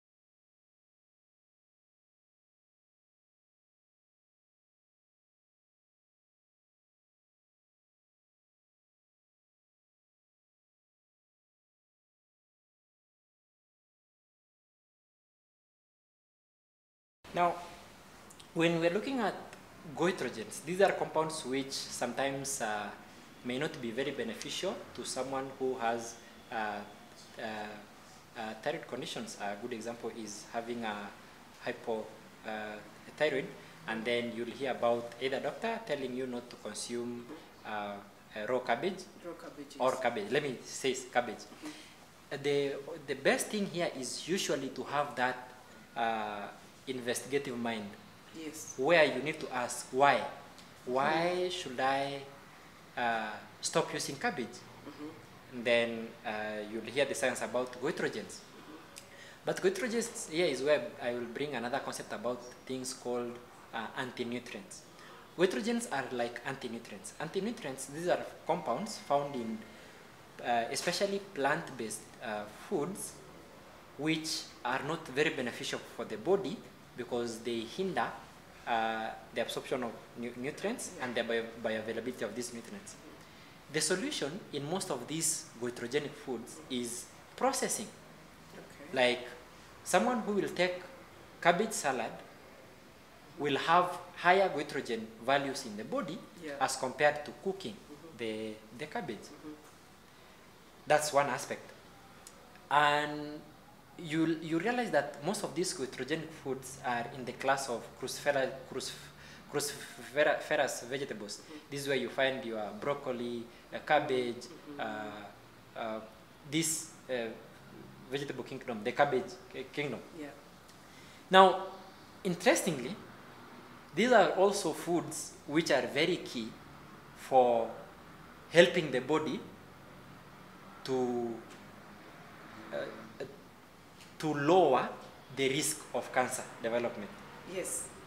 A good example is a component called sulforaphane from uh, broccoli and cauliflower, but especially broccoli, including bro- broccoli sprouts. When you are doing them when they are raw, sulforaphanes are high. But are we going to, to uh, ask patients not to get these benefits just Yeah. because they have a thyroid? No. Yeah.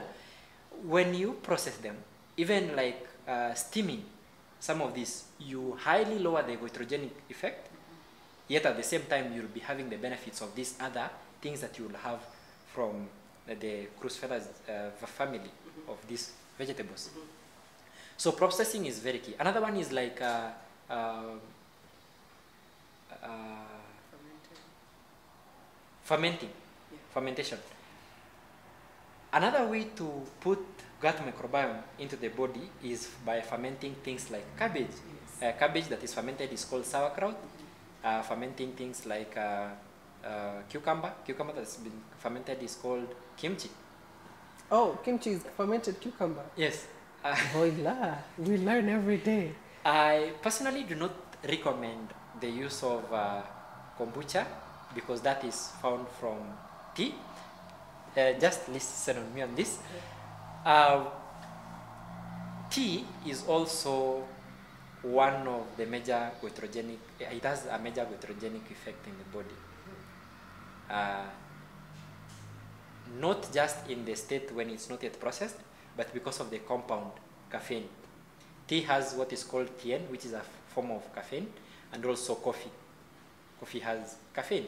These two are major uh, goitrogens in the body that I usually recommend that thyroid patients uh, Not to not to consume, Okay. and both for both cases, Yeah. and also even other for other conditions because caffeine has an effect in the nervous system where it tends to stimulate the nervous system uh, uh, and the regular stimulation of the nervous system tends to lowering what is called vital force. Our body uses electricity. The reason why you can be uh, electrocuted is because our body uses electricity. When you have a touch, when somebody touches you, the body, the mind will know that someone um, has been touched at a certain specific point because information was transmitted from that area to the brain. And how, in what form was this information transmitted? Through impulses, and impulses are mostly in electrical form. Of course, there are chemical chemicals in between the nerves, but it's majorly through the electrical system.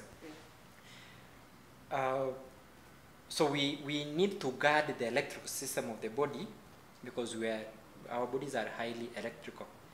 And the way the brain works to communicate to every part of the body is using electrical energy mostly. So if we are, we can see the importance of having energy through uh, glucose or through starch. Similarly, we need to have uh, energy in the electrical form to communicate in the body. Yeah. Okay, so I think uh, I think that is very clear because this idea of goitrogens is a very uh, contested topic. Uh, so, um, Dr. are there potential risks of using uh, herbs or the weeds that you say or the extract? What are the potential risks? And then uh, you can combine that with, um, besides what you do, besides diet, besides lifestyle, what else do you think somebody could include to sort of just have the wellness, you know, the all-rounded well-being, other than diet and lifestyle, which I know are very important? Um, are there risks? Anything that has been formulated to act like a drug is not wise in and of itself. So look at drugs like double-edged sword, where they can cut in both ways. That's why uh, some things when they are going to be consumed in excesses, for example, we can't give ashwagandha to hyperthyroid patients, but it can be given to hypothyroid patients. We can't give iodine or even too much iodine to hyperthyroid patients. So there are risks as well as there are risks in uh, pharmaceutical medications, the, uh, the likes of carbimazole. Uh, we are, I think we have talked earlier on about, about it. Uh, however, generally, the risks in plant-based medications are a bit uh, lower as compared to the other established effects. If I'm to speak about specifically the thyroid, I said earlier on, for example, AMLA. AMLA will not threaten a lady from not having pregnancy at all. AMLA will not uh, threaten to lead to hormonal imbalance in a lady. But once somebody is on, let's say, for example, uh, levothyroxine, you will expect that there is going to be hormonal imbalance. So there are risks, uh, as it is in both ways, but the risks on this other side are a bit lesser. And that's why I encourage people to be open. Yes, you are consuming uh, a, certain drug, which is very key. I wouldn't at any moment ask any patient to get rid of a medication that is helping them. And there are cases where people have had issues like a thyroidectomy where they will need some dependency to some degree on those medications. Uh, there are those who have had partial. I've seen rare cases where it has been completely removed. But also partial means that you have uh, incapacitated the functionality of the thyroid were hit as a whole. Mm. So cons considering time, mm -hmm. with such a condition, someone may use that uh, uh, medication for a longer time as the body adapts to the use of the natural ones. Or the withdrawal time may be longer. The time to withdraw that medication may be longer as compared to someone who has not had that procedure. But there's still hope for them. There is hope. Okay. Yeah. Okay, that's good. So, what do, would you recommend somebody else to do besides that, besides the diet and? Uh, what I would really recommend someone uh, to do, I will still go back to principles of naturopathy. Okay. There is a fluid that contains life. That's blood. This blood we need to optimize its health it is from the blood we will have nutrition to every other organ of the body. It's from the blood we'll have hormones circulating in the body. It's from the blood that we'll have uh, chemicals also circulating in the body, both good and bad chemicals. So the first and foremost is maintain very high quality blood. Okay. There are cases where people have gone for, uh, is a whole uh, topic that I will talk about, but let me talk it briefly. Talk about it briefly. There are cases where people have gone for iron mm -hmm. supplements, mm -hmm. but hemoglobin is not just about iron. Hemoglobin has got iron at the center. When you look at the, you know, the chemical structure of hemoglobin, it has got a ring of hydrocarbons, and at the center it has got uh, uh, iron when I'm going for the iron uh, supplement, I'm going only for that single element, okay. the iron. Yeah. I'm not getting this ring that is going to help yeah. to make the the hemo hemoglobin, the full hemoglobin structure. That's where now plants play a role, especially chlorophyll. When you look at the chlorophyll structure, it's exactly exactly the same as that of the as that of the hemoglobin, but at the center there is magnesium. So have your iron, have your chlorophyll, uh, the body will find a way of how to put iron at the center to, for you to have a whole hemoglobin. I've worked with people where their blood work at the beginning of a week let's say we do, they do the results on uh, Friday, they begin medication on Saturday or Sunday, or even Monday.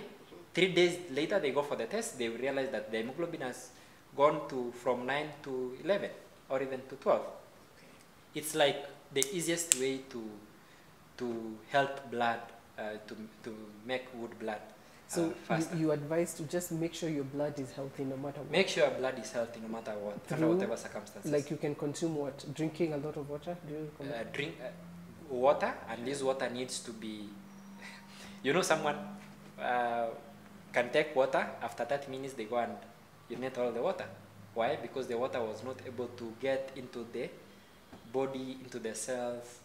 Okay, so, So that's where salts come in. Uh, salts like uh, uh, the, on the top of the list is uh, calc salt, not consumed together with the water, but uh, put under the tongue or in the mouth, and then uh, the magnesium uh, goes into the body through the thin membrane. When you take the salt into the kidneys, the kidneys will uh, remove the excess salt. So it's better you just put it in the mouth and then the magnesium enters in the cell. Magnesium in the cell will help the cells to get the water that you have taken through the mouth. You have seen or you have experienced even when you are taking water, but after a short time you have you need so that all the means water. my, the water is not being so there is the absorption aspect. yes. This is so. There is the absorption aspect, there is the assimilation aspect. There is absorption, then there is assimilation. The water has to be assimilated in the body, like it has to become part of you. Watu wanakunywa So drink drink water. Uh, get chlorophyll. This from green leafy vegetables. You can do you can do chlorophyll itself as a supplement, or you can do smoothies and the likes. And I tell you, people who consume chlorophyll within a very short time, yeah you can consume chlorophyll today yeah and tomorrow. The other day, your skin is as someone who has used collagen for three weeks or four weeks. yeah. it's it's uh, it's just on another level now you are looking at your blood then consume foods that are healthy avoid the consumption of uh, Too much. highly processed foods and if there is one thing I'd like to say please avoid the use of sugar. If we must use sugar uh, if we must use sugar let's do the natural sugar. The natural sugar in, in terms of once i was consulting with a client and i was like how am i going to tell this client To stop using someone whom I esteemed like uh, coming from uh, this locality or with this exposure, if I'm going to tell them to use natural sugar, something like su- sukari nguru, they may see me someone backward. Yeah. yeah. but in, in the middle of the conversation, they were like, by the way, not use sugar, I use karinguru, I use, uh, that's jaggery. It's so use, if we must use sugar, use the, uh, the natural sugar in the sense of the likes of uh, skaringuru. I'm not advertising for people who are selling skaringuru, but it's the best uh, form of sugar. But you can even still avoid it and get your, your starch in limited amounts or carbohydrates which are com- in complex forms because the body requires the Which converts glucose. it into sugar.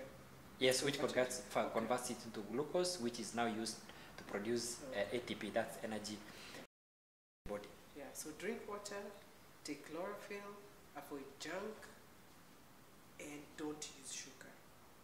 So if we were to talk tumia about the single- zile ngumu eh? the single most thing that you can first target in order for you to be healthy is blood Okay. Then for those who like to into look into the organs and Mhm. systems, Mhm. I think we can have a conversation uh, About that. Yeah. Eh, for the sugar, does honey fall in this category of skaringuru? Honey is a good type. Okay. Yeah, you can use honey. And this other one from sugar is called what? Is Uh, this other corn syrup. No, no. This one, they sell it, I think, at Healthy U. It's called what? It's brown. The ile wanatoa hiyo nini ya sukari and then it looks like Uh, that's called blackstrap molasses. black strap molasses. Now there are two types of blackstrap molasses. Blackstrap mo- molasses has got benefits, especially because in the processing of sugar, Mm. they get rid of everything to get this white crystal thing which is purely sugar. Oh. Actually, Oh. When we look at health, that is a chemical. That's a biohazard. Oh. Really, the white sugar?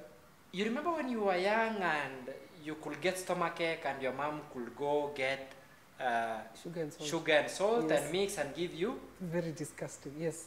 It's disgusting, but almost could work. immediately you Yeah. you become well. Mhm. Now, it's because of uh, dom- uh, dominancy of bad bacteria at that particular moment that led to you having the uh, stomach. ache. Yeah. Yeah. Now, which in other words can be termed as food poisoning. Now, the sugar, as well as Krest soda or many sodas, Mhm. the sugar, once you have it, it will wipe all the bacteria that it comes along with, both the good and bad. Once it, is a chemical. Once it has wiped the good and bad bacteria, you are not having good bacteria. Yes. So the work the, the bacteria was going to do. Do you know that gut microbiome uh, is responsible for about 70 to 80% of the body's immunity? Yes. That at least I know. Body's immunity, 70 to 80%. Mhm. Now imagine when I'm wiping on a daily basis this gut Every- microbiome Yeah, with sugar. with sugar, maybe in tea or in chai uh, that I'm drinking with that crystal sugar. Okay. We. I hope you're hearing. Stop taking sugar. Stop taking sugar. Any person who has, there is also a direct link. The gut microbiome, according to the American Psychological Association, Mm. plays a role of producing serotonin to the degrees, degrees or levels of 95%. 95% of the body's serotonin is Mm. produced by gut microbiome. So if I'm tampering with this gut microbiome, and the one of the most single element, of course there are other things like Yeah. pesticides, Yeah. but if I'm tampering it using sugar, Yeah. so you can look at the aspect of how issues like depressions they can easily Depression, set in. sadness. And with people today not having sunlight, vitamin D D- enough, Yeah, and that's a whole other topic. the mental issues are on, on the Very- rise. Yeah. One area we must look at Mm. is stop consuming sugar. I haven't gone into issues like uh, diabetes and, and that. Yeah. Another area, I know this one is going to hit hard, uh, but it's very necessary. The consumption of wheat. Wheat as it is today is, uh, is not wheat that the Israelites used to eat. It's not wheat in 1900s, early 1900s. Wheat in 1960s, uh, during the Green Revolution. Yeah. It was went- different. Yeah. Yes, went through uh, Natural processing. uh, not natural process. What they did is to do hybridization, but wheat in those times used to be very to tall. grow tall. Yes. And for commercial production of wheat, when the elements of weather come in, it will make the wheat go down. I mean, you can't have harvest. So they went again to the lab and they decided we are going to work on the genes. So they removed the alleles for tallness to produce wheat that is stunt, Yeah. that is short. Yeah. It's going to be able to bear high yield High yields. so that when To feed weather, the masses. Yeah. the, the, when the weather elements come in, it's not going to be destroyed. Mhm. But with, you see, when you alter something in their natural state, it has a way of adapting in order for it to continue to survive. Wheat adopted a number of things. One of it is called gliadorphin. Gliadorphin is gluten together with morphine. No wonder today, uh, when people have emergencies in hospitals, morphine, morphine that is going to be effective is not the same dosage that would have been used in 1990 or in 1980 or going yeah, backwards Yeah. and it ha- it is very addictive. Look at the commercials, look at the advertisements. That's true. And yeah, One of the things that is very addictive and they use is wheat. wheat cake, That's why you'll find wheat. Uh, mandazi, used, chapati. wheat is used to uh, uh, to coat the uh, fillet. Uh, it's used Ah, to the cakes, the, the chicken you eat the from the- the- KFC. from- and, and, Sorry. and the likes. you so Yo. avoid wheat. Uh, besides the gliadorphin aspect, when you look at wheat, you see with uh, also with hypothyroidism, uh, patients tend to gain weight, and some of them tend to gain uh, A the visceral fat. Yeah. Hypothyroidism. hypothyroidism in most cases. Wheat is a major contributor. If someone is on wheat, you can't expect that they get rid of the tummy or or, uh, or or such conditions. And some, somebody may say, "Well, I'm using wheat, but I'm still okay." I'm using the brown, Ilya Brown. Um, on that aspect, That's a whole different story. It that the It's brown wheat. it is wheat. It's Uh, still yani, So it is still wheat. Okay. actually, for people who are looking at the aspect of the glycemic index in wheat, brown bread has higher glycemic index as compared to white bread. the reason is because of there is something called amylopectin. In wheat, you have this form of uh, uh, the, people behind the camera wanasikia kufaint. so, so uh, okay even uh, even when we come to men Mhm. it is one of the uh, most contributors of the change of testosterone to dihydrotestosterone Which causes what? dihydrotestosterone is one of the major hormones implicated or uh, that is directly linked to uh, hyperplasia that's uh, the enlargement of prostate with as we know it today is not a friend But then, no, that is serious. That Wheat is very not a uh, wheat is not a friend. Um, uh, there are many people by the way talking about this nini.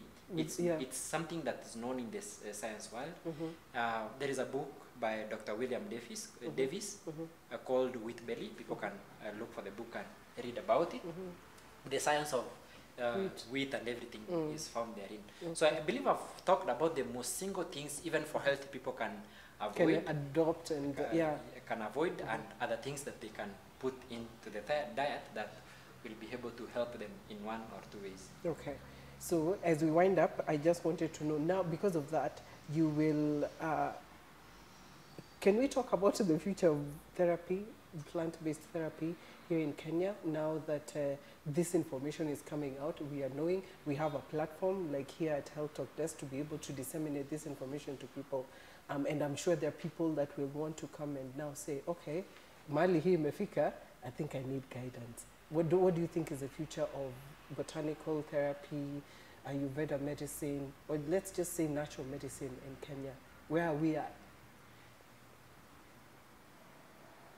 One thing that uh, a patient will love is having control and not feeling helpless. When we look at uh, medicine, plant medicine offers greater liberty.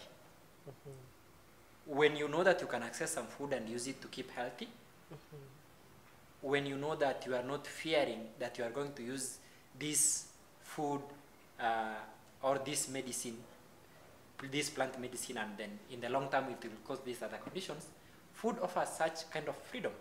This is in, in no way of calling people out completely of pharmaceutical medication, medications, but with the freedom that comes along by using plant medicine, it is something that we need to recognize, both those who are in the um, uh, pharmaceutical medicine and also plant medicine in terms of pharmacognosy and even those who are practicing other types of healing or other healing healing schools like uh, Ayurveda, acupuncture, and the likes. Why am I speaking about this? Truth be told, in most homes today, to the mm-hmm. degree of about 80% of patients mm-hmm. interact with food or have used food for purposes of prevention or medication in some form. Mm-hmm. That's true. You can look at, for example, COVID. Almost everybody used lemon. Lemon, ndimu, Almost everybody. Yeah, it went out of stock. and lemon, the price of lemon went very high. Yeah. There are other things people use on a regular basis, but some of them are used as condiments, the likes of uh, adding garlic to food. Garlic has got a component called allicin. It's one of the things that can be used even for people with, uh, uh, it has been used for, uh, to, to help in uh, hypertension and also diabetes. So it's, I believe it's time that first practitioners in whatever field recognize the power of food when it comes to uh, to health, and also The other reason why they need to recognize this is because they will have patients who, who are eating foods from plants. It's not on a regular basis that somebody will be using meat, and in fact, they are even the- one of the reasons why you'll go to a doctor and the doctor will tell you if you have been using meat punguza, I mean lower the intake or decrease the intake. It's because basically there has been studies which have been done linking to this, uh, uh, to some of these conditions. The safest of all, the safest in terms of diet is will be uh, plant uh, plant-based foods, especially when you have to around 80% of your diet being uh, plant-based food. It is uh, it is time that practitioners recognize that, and the future for this field, I believe, is that as the people are being educated, I've worked with uh, clients and I've come to realize uh, most of the clients uh, through organizations like these ones and also even those who have self-interest are educating themselves concerning the conditions that they have Yes. because they realize that there is a link with either their lifestyle or with the chemicals they're exposed to. So, and bearing in mind the market that is there is uh, to about 80%, it's not only, it's only that we don't, uh, studies are not done to uh, solely uh, uh, have, I mean, uh, charts or uh, to say a regular update to the population to tell people this is the number of people consuming herbs and uh, plants for medication versus this is the number. It's only that in the mainstream, what is known as medication is a pharmaceutical medication. Mm. Yeah. But plant foods are not only just foods, are not only nutraceuticals, yani are not only good in nutrition, but plants can be used and are being used by so many people for purposes of uh, medicine. Yeah. So the future of this is that it is a wide field mm-hmm. and the knowledge has to be passed mm-hmm. from generation to generation. Mm-hmm. Some countries have been able to keep up with scientific methods on how to document and continue practicing plant-based medications. For example, traditional Chinese medicine, Ayurveda. It's only uh, sad that uh, some of us, like in the African countries, where we haven't passed the knowledge down, and that's why you realize that whenever people hear about herbalists, they Mm. seem to freak out. To freak out, yes. But this information should be passed, documented. If we are not able to document right now, let's use other documented. If the most herbs, for example, dandelion, that will be used by uh, people in the coast as food, will be similar dandelion that is found somewhere else in Europe. And the studies does not mean that that uh, will not proffer those benefits. It, it's only to a few plants or herbs, the likes of, uh, you know, mira. Mira can do well or can have some chemicals in high concentrations when it's planted in a certain area as compared to another area where it will not have the same effect. It's only a few. But in most cases, and the goodness is that people living in the tropics, especially, for example, Kenya, we have plants which have higher medicinal value as compared to other. Other People export rosemary. Rosemary is very good for brain function. Yeah. People who export rosemary from Kenya, the rosmarinic acid from uh, uh, rosemary, uh, the levels in this country are higher as compared to someone who will do rosemary in Europe. Mm-hmm. Uh, because of the benefit being along the, the equator. Yeah. Uh, Prunus africana, it's a plant that is used for treatment of uh, prostate hyperplasia and also even prostate cancer. Uh, you heard the other day how the king of uh, England is not going to use uh, pharmaceutical medication for his treatment of cancer, but he was going uh, leaning towards the use of plant medicine. Yeah. One of the things used is what is called uh, Prunus africana. Mm-hmm. But the levels of the healing properties of Prunus africana from Kenya are Yeah. very high as compared to when it's going to be grown in regions which are not having uh, the sun uh, uh, sun exposure length uh, of uh, length periods. Yeah. Yeah, so I believe we we as Africans, we as Kenyans, and especially people interested in having holistic health, Yeah. we have uh, a strong point to make, and this needs to be taken a stand higher. Yeah. Yeah. Okay, so as we wind up, I want you to tell people where they can find you, if you have any social media platforms, to come and consult and get uh, started on the journey with plant medicine and therapy. Yeah, as I said earlier on, my name is Erick Ongaki. I'm a biobotanical therapist. Bio means life, botanical means plants. Therapist means someone who helps you in Yeah. uh, a certain way to recover or to manage a certain condition. Now, I practice that. Uh, I have uh, social media presence. Mhm. I'm new in social media, but I have a social media presence. Uh, the name is Rhea Springs Wellness. Uh-huh. Um, you'll find that in Facebook. Mhm. Uh, you'll also find that in YouTube Mhm. as Rhea Springs Wellness. Uh, we also have a website known as Rhea Springs. Uh, uh, we also have an office in town where somebody can come in. In an event, uh, in today's world where people do not have time to meet. We also do online consultations where we'll have a live consultation or sometimes even visiting clients in their homes Okay. because sometimes that also is a telling experience. I can get to someone's home and be able to detect this house may be having mold or the environment yes. and, and that Yeah, yeah. so that is actually that's those are that's how naturopathy works Yeah. Okay. and uh, my phone number i'm being reminded of a phone number you can uh, get me through 07 uh, 97 141 934 i repeat 07 97 141 934 thank you and uh, Hey, you. thank you so much, Erick, for taking the time. I know it's been quite uh, a session, but thank you for taking the time. We know you had so many other things to do. We really appreciate you for coming and educating, and we hope this is not the last time. We're going to be having uh, many more uh, sessions as we educate ourselves on plant health and medicine. Uh, you see why I call him Dr. Eric Berg Ongaki. I mean, the information he has is just some people are almost fainting. So we will uh, we will uh, end the session so that we can go and attend to them. Um, thank you for joining us, and uh, I hope that you've learned something.